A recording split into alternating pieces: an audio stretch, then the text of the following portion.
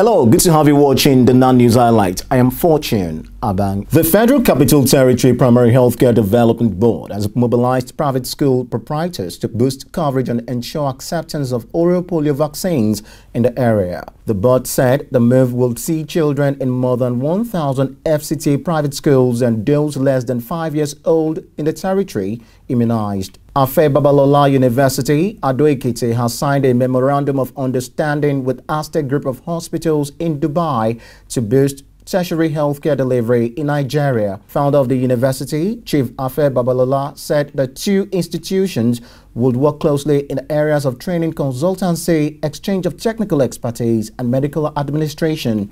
Britain says it will empower women and girls in Nigeria, Iraq, and Sudan in eight efforts to end conflict, encourage economic growth, and reduce poverty in nine countries. Senior ministers said in a national action plan on women, peace, and security that although women and girls were disproportionately affected by conflict, they were not part of the solution. Britain pledged to tackle obstacles to women's leadership and political participation, including entrenched patriarchal views, violence, and intimidation. And Secretary of State Rex Tillerson says the U.S. has strong relations with African countries and is interested in maintaining the ties. Tillerson expressed the hope that African countries would like to maintain such relations with Washington.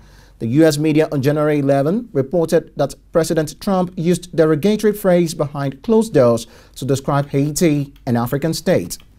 And the United Nations Under Secretary General for Peacekeeping Operations, Jean-Pierre Lacroix, has appointed retired Lieutenant General Chikadibia Obiakor of Nigeria to lead a special investigation into the killing of some Burundian refugees in the Democratic Republic of Congo.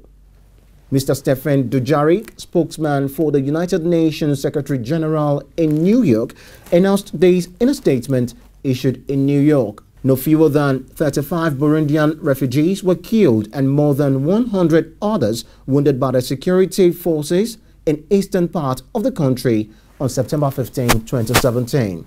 For details of these and other stories, log on to our website, nan.ng.